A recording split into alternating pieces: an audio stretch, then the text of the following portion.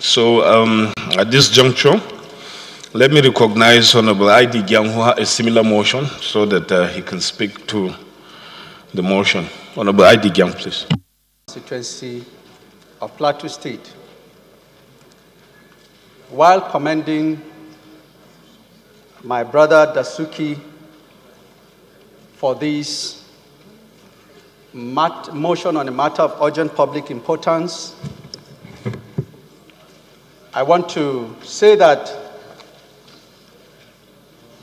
we note with admiration and sense of national pride the testimony of exceptional and uncommon gallantry demonstrated by Lieutenant Colonel Abu Ali, who exhibited uncommon passion and love for country, such that he hazarded and jeopardized his life at the battlefront in the war against the Boko Haram terrorists to liberate territories that were under Boko Haram control and occupation in the northeast, thereby paying the supreme price for fatherland.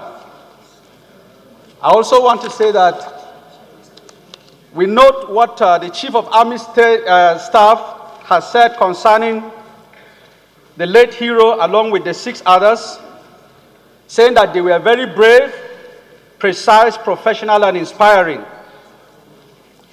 We cannot but applaud the heroism of Lieutenant Colonel Ali, who, with the fighting force, traversed the Northeast as a war front commander and was an inspiration and motivation to the troops. His exploits and gallantry are better captured by one of his war front compatriots, who, as an eyewitness, chronicled the escapades of the fallen hero, saying, You were indeed a source of inspiration, a confidence builder, a game changer. And you were the first to enter Sambisa and rescue the first 296 women. His colleague further said of him, You took part and led all the major operations to liberate all the communities and clear all Boko Haram terrorist hideouts and enclaves in the northeast from Yola to Borno.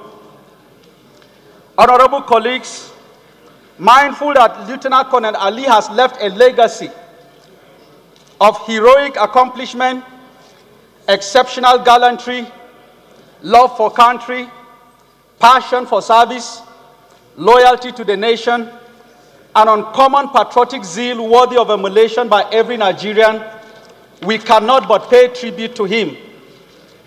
And I want to, while adopting all the prayers that my colleague, Honorable Monguno, has moved, I want to further add that we mandate the Committee on Army to visit the family and convey the condolences of this honorable house. This is my contribution, Right Honorable Speaker and honorable colleagues, on this very special tribute to our fallen hero. Thank you.